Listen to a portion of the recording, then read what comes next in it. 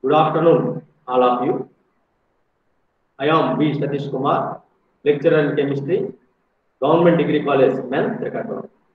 Today, I am going to explain two concepts in environmental chemistry paper.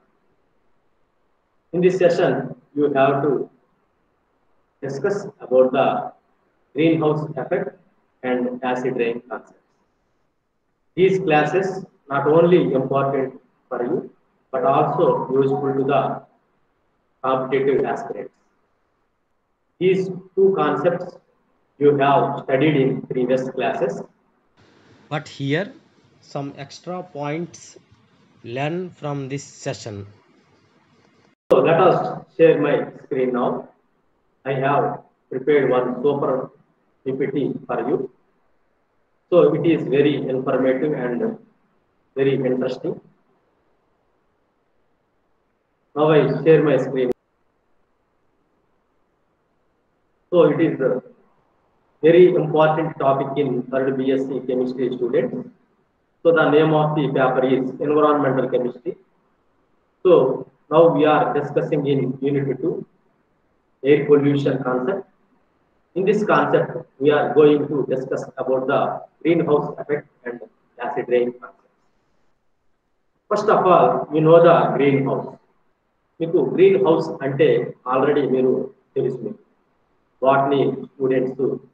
సాధారణంగా greenhouse వారు ఏర్పాటు చేస్తూ ఉంటారు ఫర్ గ్రోయింగ్ ప్లాంట్స్ ప్లాంట్స్ని పెంచడానికి గ్రీన్ హౌస్ని మీకు తయారు చేస్తూ ఉంటారు సో జనరల్గా greenhouse is a building with glass walls and glass roof green houses are used to grow plants such as tomatoes and tropical flowers, etc. So green houses and is a green houses is a building with glass walls and roofs. Glass wall to roofs. So these houses are used for growing plants. చెట్లని సాధారణంగా మొక్కల్ని పెంచడానికి సాధారణంగా ఉపయోగిస్తూ ఉంటాం the advantage of greenhouse is it increases the temperatures in the house so that that heat heat used for growing growing ఆ heat చుట్టూ పెరిగేందుకు ఉపయోగపడుతుంది సూర్యుడి నుంచి వచ్చే లైట్ ని ఈ గ్లాస్ వాల్స్ అన్ని కూడా అబ్జార్బ్ చేసుకుంటాయి తద్వారా హీట్ ని జనరేట్ చేస్తాయి నాట్ ఓన్లీ సన్ సన్సైన్ సూర్యుడు ఉన్నప్పుడే కాకుండా after after sunshine koda manaki night time in the case of night time this sunlight is some is some light is trapped by these glasses and warm inside the house that indicates that results the growing of plants very easily so greenhouse stays warm inside the importance of greenhouse is greenhouse stays warm inside even during the winter. In the daytime, sunlight shines into the greenhouse and warms the plants and air inside. At night time, it is colder outside, but in the greenhouse, stays pretty warm inside. That's because the glass walls of the greenhouse traps the sun's heat. So మీకు ఇక్కడ చక్కగా అర్థమవుతుంది glass walls ఉండడం వలన ఇవి sun light ని మనకి absorb చేసుకొని డే టైంలో వార్మ్నెస్ ను క్రియేట్ చేస్తాయి అలాగే నైట్ టైం సాధారణంగా మొత్తం అట్మాస్ఫియర్ అంతా కూడా కూలింగ్ అయిపోతుంది at colder in night time కానీ ఈ గ్రీన్ హౌస్ గ్లాసెస్ ఉండడం వల్ల ఇది గ్రీన్ ఇది ఏం చేస్తుందంటే ఈ వాల్స్ ఈ హీట్ ని ట్రాప్ చేయడం వలన even night time also heating అనేది ఉంటుంది warming inside the greenhouse that is useful to grow plants ఆ హీట్ వల్ల చెట్లు మొక్కలు అనేవి పెరగడానికి అవకాశం ఉంటుంది సో అది గ్రీన్ హౌస్ సో అది మీకు general knowledge about green house లేకపోతే అబౌట్ గ్రీన్ హౌస్ ఎఫెక్ట్ గురించి చూస్తే గ్రీన్ హౌస్ ఎఫెక్ట్ ఇదే natural process that warms the earth surface ఇది ఒక నేచురల్ ప్రాసెస్ యాక్చువల్గా greenhouse effect is natural process that warms the earth surface earth సర్ఫేస్ని వేడిగా ఉండడానికి ఈ గ్రీన్ హౌస్ ఎఫెక్ట్ అనేది ఉపయోగపడుతుంది మన గ్రీన్ హౌస్ గ్యాసెస్ భూమి మీద లేకపోతే మనకి జీవులు అనేది ఎగ్జిస్టింగ్ కష్టం అవుతుంది అయితే ఈ రోజు మనం ఫేస్ చేస్తున్నటువంటి problem due to excess of greenhouse gases in in atmosphere that leads to so many problems we are facing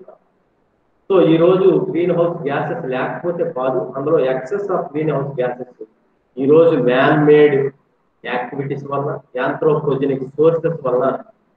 greenhouse gases increase in the environment that affects some bad effects for the life on earth ఆ effect ఏమవుతుంది ఎక్కువ అవడం వలన lights effect అవుతున్నాయి earth మీద ఉండేటువంటి so when a sun energy reaches the earth atmosphere some of it's reflected back to the space and the rest of energy is absorbed and reradiated by greenhouse gases సాధారణంగా ఈ process ఎలా జరుగుతుందంటే భూమి మీద ఉండే వాతావరణం అలాగే ఎర్త్ సర్ఫేస్ అనేది సూర్యుడి నుంచి వచ్చే లైట్ని అబ్జార్బ్ చేసుకుంటుంది అలాగే కొంత ఎనర్జీని రిఫ్లెక్ట్ చేస్తుంది ఆ రిఫ్లెక్ట్ చేసిన ఎనర్జీ కొంత green house gases శోషించుకొని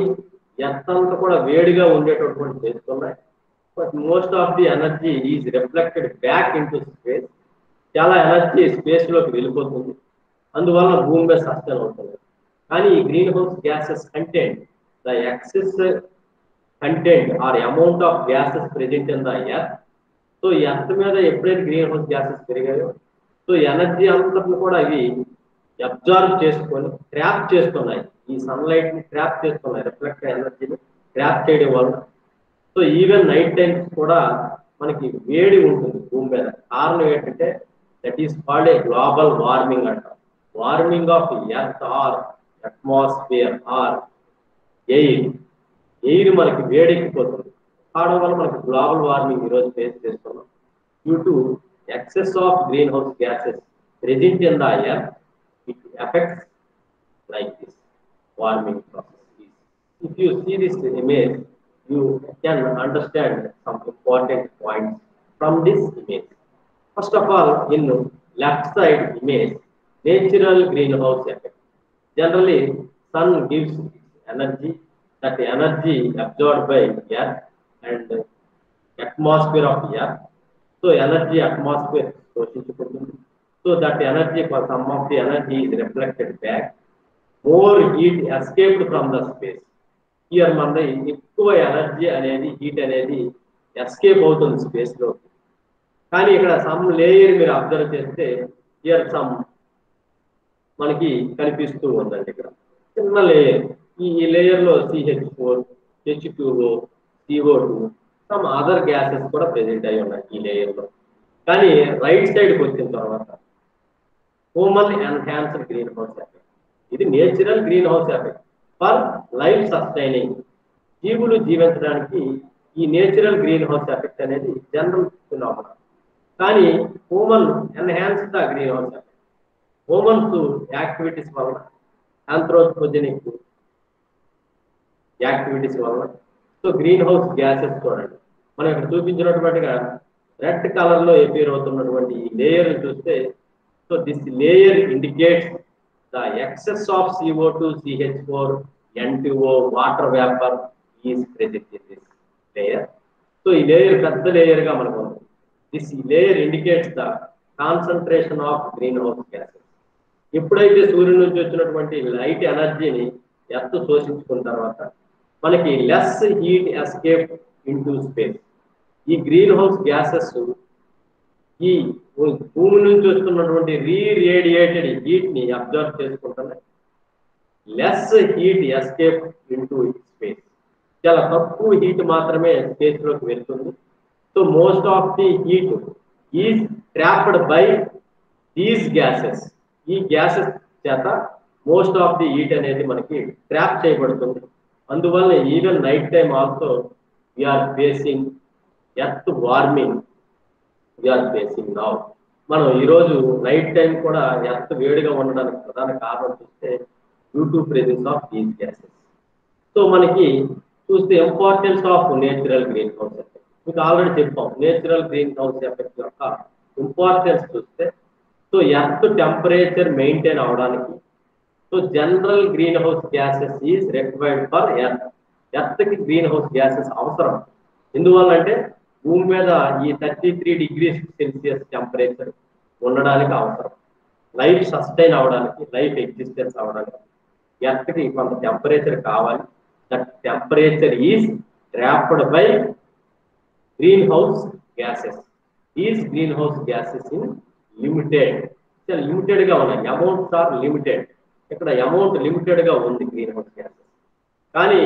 now we are facing global warming due to presence of excess amount of greenhouse gases present in the earth surface earth surface మీద ఎక్సెస్ గా ఉంటుంది so it is a enhanced greenhouse effect ఈ green house effect అనేది enhance అయింది పెరిగింది పెరగడం అంటే greenhouse gases content increases greenhouse effect is increases so అది మనం చూస్తే the now we are facing problem face in that human activities particularly burning of fossil fuels like coal oil natural gas we are burning so demand is increased due to increasing the population. So the demanding of coal and oil and natural gas. And also we are doing agriculture work and land clearing due to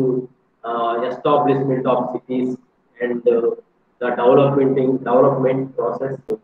All these things uh, increases the greenhouse effect, which is contributing the warming of earth. So ఇవన్నీ కూడా warm చేస్తున్నాయి ఎత్తని ఈ ప్రాసెస్లు అన్ని కూడా ఇవన్నీ వలన ఈ యాక్టివిటీస్ అన్నిటి valana మనకు ఎర్త్ అనేది వార్మింగ్ అవుతుంది సో దీన్నే మనం గ్రీన్ హౌస్ ఎఫెక్ట్ అని చెప్పచ్చు it is enhanced greenhouse effect greenhouse effect అనేది ఎప్పుడూ ఉంటుంది ఈ నేచర్ లో so it is enhanced greenhouse effect due to enhancement of greenhouse effect, the earth temperature is increasing. That means the global warming process. So, what are the main greenhouse gases? You see the greenhouse gases. The first one is water vapor. It is a gas. It is a natural process. Water vapor always it is a natural process. So in water cycle, in water cycle is a regular process. Water is vaporization and it comes to fall down as rain. So the water vapor and also carbon dioxide. Carbon dioxide also increasing uh, now and also methane also increasing and nitrous nitrous oxide N2O gas, methane is a marsh gas, CH4, and ozone and some artificial chemicals such as fluorofluorocarbons. All these are the gases will increases the temperature. So all these are the greenhouse gases. The main greenhouse gases are four. One is water vapor, another one is carbon dioxide, methane, and nitrous oxides are the main gases uh, who increases the greenhouse effect. So ఇందులో ప్రధాన gases అవన్నీ కూడా so మనం ఇంతవరకు చెప్పినటువంటి green house effect యొక్క mechanism చూస్తే Six steps involved in this mechanism. So let us see the so step steps. one is a solar radiation reaches the earth atmosphere some of it is reflected back into space step two the rest of the sun's energy is absorbed by the land and the ocean and heating the so మనకి ఈ energy మనకి వస్తుంది అవన్నీ కూడా observe చేసుకుంటున్నాయి ఇక third one చూస్తే step three heats radiate from earth towards space ఇక ఫోర్త్ స్టెప్ చూస్తే step four some of this heat is trapped by greenhouse gases which are present in the atmosphere keeping the earth warm enough to sustain life. Because step 5 to say human activities such as burning fossil fuels, agriculture, and land clearing, and are increasing the amount of greenhouse gases released into the atmosphere. Step 6 to say this is the trapping extra heat and causing the earth temperature to rise అన్ని process అవుతాయి అయితే దీన్నే మనం ఈ clear పిక్చర్ని picture రూపంలో చూస్తే total all six steps in a single picture. So in here the step one, solar radiation, it is come from sun into the, into the earth, atmosphere. So it, some of its energy is reflected back into the space. This is clearly so initially, so the in step two, the rest of sun's energy absorbed by land. So that means the earth surface and the ocean and heating the earth so ఈ energy వచ్చినటువంటి sun ఎనర్జీని కొంత సముద్రాలు శోషించుకుంటున్నాయి అలాగే earth heating అవుతుంది earth surface అలాగే కొంత ఎనర్జీ అనేది రిఫ్లెక్ట్ చేయబడుతుంది సో స్టెప్ త్రీ చూస్తే heat radiates from earth to what space ఇక step four already some of its heat is trapped by the greenhouse gases in the atmosphere keeping the earth warms enough to sustain life so ఇందులో ఈ reflect చేస్తున్నటువంటి ఎనర్జీలో some of its energy is trapped by the greenhouse gases here the here the greenhouse gases present in the earth surface or atmosphere so these gases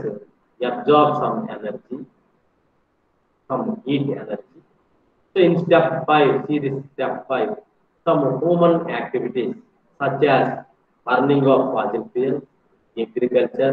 land clearing process that increases the amount of greenhouse gases released into the atmosphere. All these activities increases the greenhouse gases in the atmosphere. So finally, these increased greenhouse gases traps the extra energy, extra heat energy because of these gases are IR active molecules. These IR active molecules absorb the, the infrared radiation and increases the atmospheric temperature day by day. So all these are the uh, all these steps involved in the greenhouse gas. So what are the main effects we are facing due to greenhouse effect? So first the effect to say here the record high surface air temperature. Surface temperature increase also and also increase the average number of hot days per year. Hot days ఒక సంవత్సరంలో ఉండేటటువంటి hot days increases increase అవుతున్నాయి ఇక decrease average number of cold days per year చల్లని రోజులు కూడా తగ్గుతున్నాయి ఇవన్నీ ప్రాబ్లమ్స్ క్రియేట్ అవుతున్నట్టు వస్తున్నాయి అలాగే increasing the intensity and frequency of extreme events fires అలాగే ఫ్లడ్స్ ఇవన్నీ కూడా వస్తున్నాయి ఈ ఎప్పుడైతే ఇంక్రీజింగ్ హాట్ డేస్ అలాగే డిక్రీజింగ్ కోల్డ్ డేస్ సో ఎప్పుడైతే జరుగుతున్నాయి due to the environmental changes climate changes we are facing due to the effect of so దానివల్ల ఏమవుతున్నాయి ఫైర్స్ వస్తున్నాయి నేచురల్ ఫైర్స్ ఫారెస్ట్ ఫైర్స్ అనేవి జరుగుతున్నాయి లేకపోతే ఇప్పుడు అమెరికన్ వంటి కంట్రీస్ లో ఫైర్స్ మనకి జరుగుతూ అలాగే ఫ్లడ్స్ కూడా వస్తున్నాయి సో ఫ్లడ్స్ కూడా ఎప్పుడైతే హాట్ టెంపరేచర్ ఉందో సో ద రైన్స్ కూడా అసలు ఎక్కువగా పడే అవకాశాలు ఉంటాయి క్లైమేట్ మొత్తం చేంజ్ అవుతుంది సో ఫ్లడ్స్ వచ్చే అవకాశం ఉంటుంది లేకపోతే next the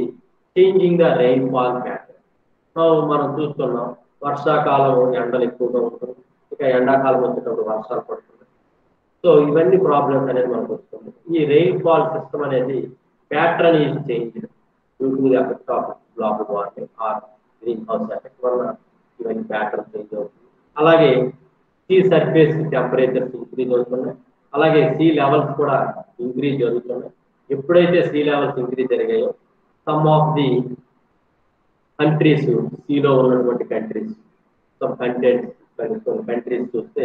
इवन कमर दीवल दंट्री आलमोस्ट मन की मुड़क अवकाश सो कंट्री कोई ऐसा चूस मालदीव मन दी कंट्री चुके Maldives complete in the so after rising the level is in world map world map లో ఈ కంట్రీస్ మనకు కనిపిస్తుంది అలాగే ఇంక్రీజింగ్ గా ఓషియన్ ఈట్ కంటెంట్ పెరుగుతుంది ఓషియన్ లో ఎప్పుడైతే ఈ ఈట్ కంటెంట్ పెరిగిందో సమ్ ఆఫ్ ది ఉండేటువంటి మెరైన్ మెరైన్ లైఫ్ మొత్తం కూడా ఎఫెక్ట్ అయ్యే అవకాశం ఇక increasing ocean acidification ocean acidification కోసం ప్రాసెస్ కూడా జరుగుతుంది లేకపోతే changing the south and ocean current melting of ice caps and glaciers ఈరోజు మనకి ఉన్నటువంటి ప్యూర్ వాటర్ లో ఉన్నటువంటి ఐస్ లో మనకి స్టోరేజ్ అయ్యాయి సో ఇట్స్ ద నదుల ద్వారా మనకి ఆవిస్తున్నాయి ఇవన్నీ కూడా హిమాలయాస్ ఇటువంటి గ్లేసియర్స్ అన్ని కూడా వీటి ఎప్పుడైతే గ్లోబల్ వార్మింగ్ ప్రాసెస్ వచ్చిన తర్వాత ఇవన్నీ కూడా మనకి కరిగిపోతాయి సో దానివల్ల టోటల్ ఈ వాటర్ అంతా కూడా సముద్రంలోకి వెళ్ళిపోతుంది సో దానివల్ల సముద్రం పక్కన ఉన్నటువంటి ఏదైతే సీ బెల్ట్ సిటీస్ ఏవైతే ఉన్నాయో అవన్నీ కూడా మునిగిపోయే అవకాశం ఉంటుంది అలాగే మనకి కొన్ని రకాల ప్రాబ్లమ్స్ కూడా వచ్చే అవకాశాలు ఉంటాయి లేకపోతే డిక్రీజింగ్ ఆర్థిక ఐస్ ఇవన్నీ కూడా తగ్గిపోతున్నాయి సో దాని అంతటిని కూడా మనం ఇక్కడ చూడొచ్చు ఇమేజ్ లో సో మనకి ఇంక్రీజెస్ డిక్రీజెస్ చూపిస్తున్నాం గ్లేసియర్ సైన్స్ సీట్స్ అన్ని కూడా తగ్గుతున్నాయి ఎయిర్ టెంపరేచర్స్ ఇంక్రీజ్ అవుతున్నాయి అలాగే రెయిన్ ఫాల్ ప్యాటర్న్ కూడా చేంజెస్ ఉంటుంది అలాగే number of cold and days తగ్గిపోవడం హార్డ్ డేస్ ఇంక్రీజెస్ అవుతున్నాయి అలాగే intensity and frequency of extreme weather events fires floods ఇక సీ లెవెల్స్ ఇంక్రీజెస్ అవుతున్నాయి surface sea surface temperatures increases ocean heat content increases ocean acidification also increases and హెల్త్గా అవుతున్నాయి మరి conclusion మీకు చెప్పచ్చు green house effect ఏమవుతుందంటే so it is a global warming process increasing the generally greenhouse gases increases, the, the, these gases trap the heat and finally globe is warming. So this is conclusion of greenhouse effect. What is the acid rain? So second topic is acid rain. So the name acid and rain. Already acid and rain, you know that acid mainly acid present in the rain. So this rain is called acid rain. So acid rain యొక్క మనం statement కూడా చూడొచ్చు acid rain or acid deposition is a broad term that includes any form of precipitation with acidic components such as sulfuric acid అలాగే ఇంకేముంది nitric acid and some hydrogen chlorides hydrochloric acid that fall in to the ground from the atmosphere in wet or dry forms చెప్తున్నాం వాతావరణంలో यहां से rain in the broad टेंटर 잡तो आदि मानकी ड्राई फॉर्म लो गाणी वेट फॉर्म लो गाणी प्रिसीटेट అవునా మరికి sulphuric acid hydric acid ground మెర్ తో పడతనే వర్షం పోపోడ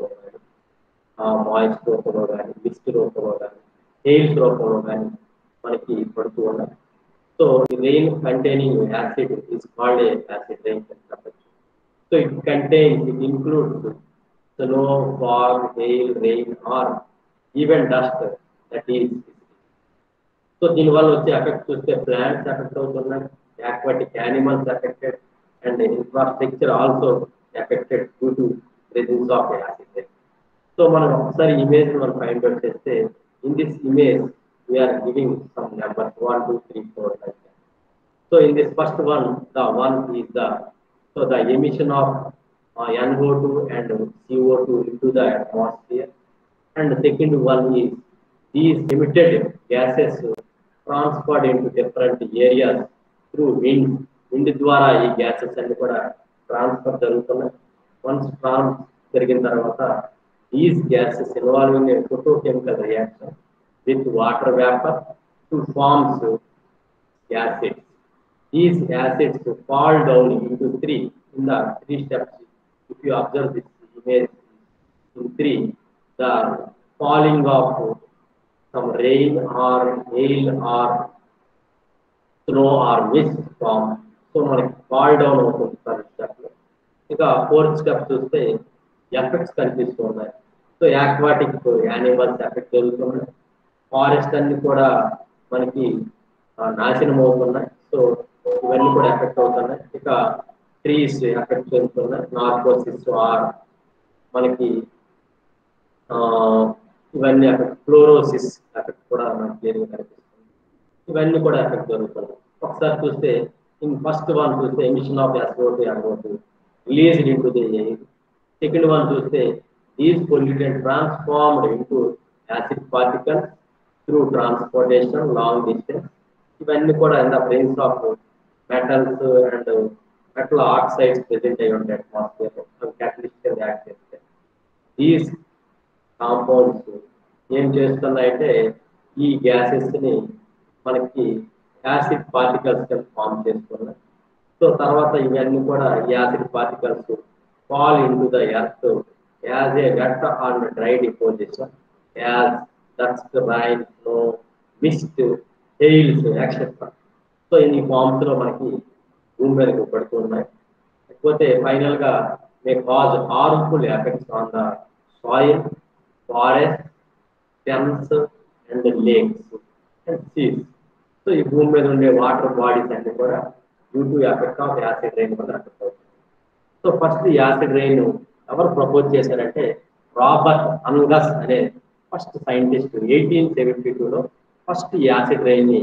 ఫైండ్ అవుట్ చేయడం జరిగింది సో ఈ యాసిడ్ రెయిన్ లో డిఫరెంట్ యాసిడ్స్ ఉన్నాయి ప్రధాన యాసిడ్స్ చూస్తే the main acids present in acid rain is H two S O four and H N O three అందువల్లే H two S O four H N O three is a cocktail అంటాం cocktail అంటాం so దీన్ని వీటిని మనం ఏం ఏమనొచ్చు అంటే cocktail of acid rains అనొచ్చు సో కాక్టైల్ అంటే మిశ్రమం వన్ కంటే ఒకటి కంటే ఎక్కువ కాంపౌండ్స్ ఉంటాయి so H three H three ఇట్లా ఆక్టైల్ అనమాట సో వీటి యొక్క నిష్పత్తి నిరంతరం చేంజెస్ చేంజెస్ కూడా ఉంటుంది most of the sixty to seventy percent of H two S O four present in the acid remaining thirty to forty percent of H and three present in the acid rain so acid rain ఎలా జరుగుతుంది so ఈ process కూడా మనం చూడవచ్చు so the main sources of acid rain is S O two and N O X gases sulphur dioxide gases అలాగే nitrogen oxides main sources for acid so మరి చూస్తే S O two N O two gases ఎలా వస్తున్నాయంటే S O two mainly some of the N O two S O two always emitted in the atmosphere due to some natural natural effects natural disasters వల్ల వస్తూ ఉంటాయి due to యాక్టిక్స్ అలాగే some lighting process ఇవన్నిటి వల్ల SO two ఇవన్నీ వస్తున్నాయి అలాగే మనకి ఒక భూకంపాలు అలాగే అగ్నిపర్వతాలు మనకి వాల్కనోస్ వల్ల కూడా ఎస్పోతే అనుకోవచ్చు మనకి రావడం జరుగుతూ ఉంటుంది అవి నేచురల్ ప్రాసెస్ దానివల్ల ఏమి ఎఫెక్ట్ లేదు మెన్ ద హోమన్ మనకి హోమన్ యాక్టివిటీస్ ఎప్పుడైతే increases so these gases content increase in the so burning of fossil fuels already we sector that carbons coal and oils. All these are we are burning in excess due to the presence of excess population is present in the earth. And also burning of fuels in a thermal factories like fossil fuels to generate electricity. In the thermal మనం చూస్తే power plants మనకి coal నుంచి మనం electricity produce చేసుకుంటున్నాం hello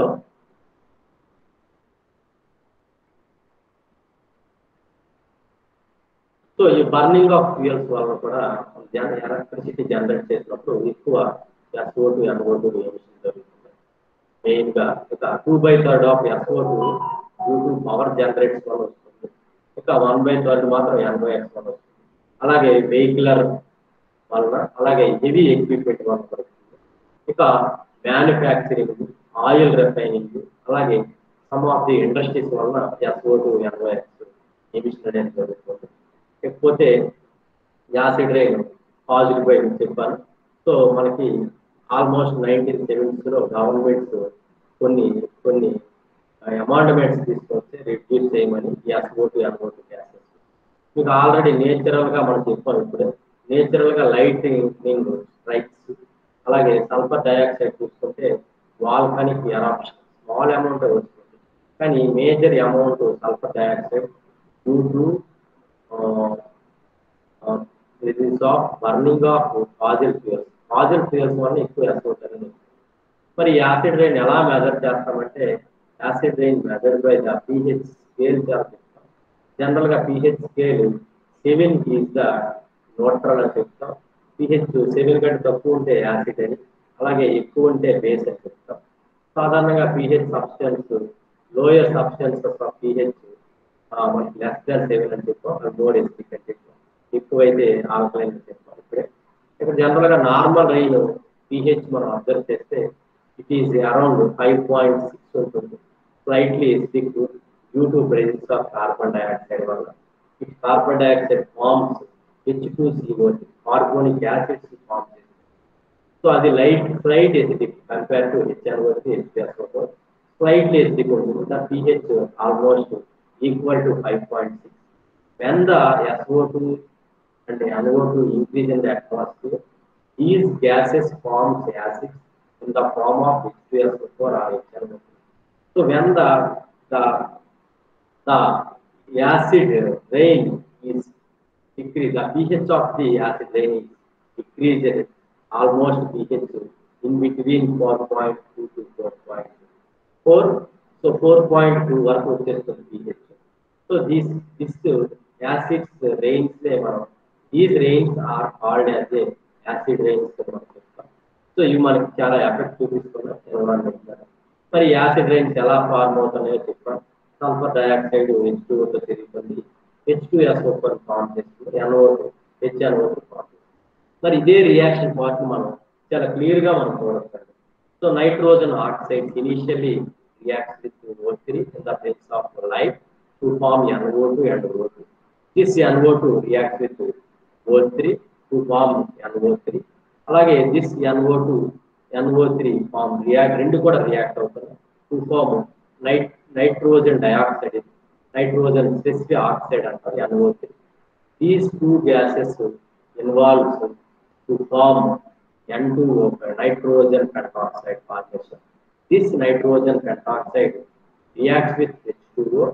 to form H అవ్వచ్చు nitric acid ఈ విధంగా generate అవుతుంది వేరేజ్